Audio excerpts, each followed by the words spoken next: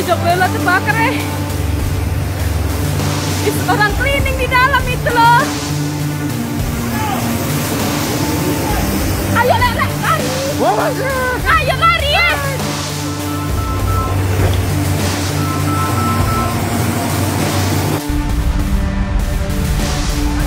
Untuk teman-teman informasi Jack Lela di Belawan Dok terbakar.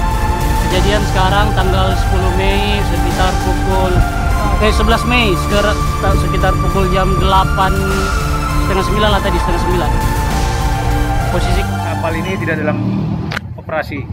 Kapal masih dalam docking. Ya sudah selama satu bulan docking di PT Waruna. Untuk sementara Pak penyebab eh, kebakaran itu seperti apa Pak? Pemicunya seperti apa? Kenapa bisa terjadi kebakaran Pak? Kita lagi masih turunkan tim. Ya, tim lab forensik Polda Sumut sudah kita turunkan untuk mencari sebab-sebab kebakaran. Nanti hasilnya baru bisa kita jelaskan tentang penyebab kebakaran itu.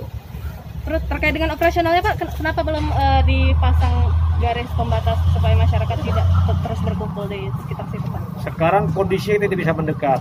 Ya, kondisi kapal masih terbakar dan terjadi ledakan. Jadi mungkin setelah mati, apinya semua dalam keadaan udah aman, nanti kita baru turun ke sana untuk pasang polis line dan melihat kondisi kapal, terutama mengecek apakah masih ada korban-korban di atas kapal itu. Terkait Ya. Jumlah korban sementara ada luka-luka yang di kapal itu sekarang ada di rumah sakit. Ada rumah sakit PHC, ada rumah, rumah sakit TNI Angkatan Laut. Ini kita mau cek ke sana pastian jumlahnya ada berapa. Ya. Ada 22 sementara. Yang luka-luka ya. Pak pada saat kejadian ada berapa pekerja dalam kapal?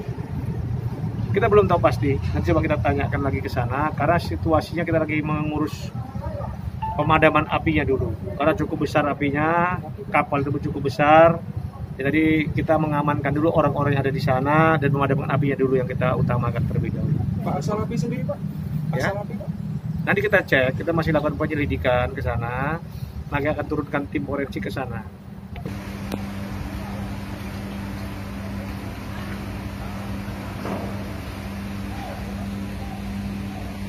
Ini yang terbakar adalah kapal yang masih dalam perbaikan dok, yang lagi ngedok.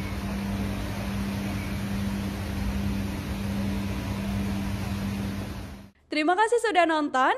Jangan lupa like, subscribe, dan share ya.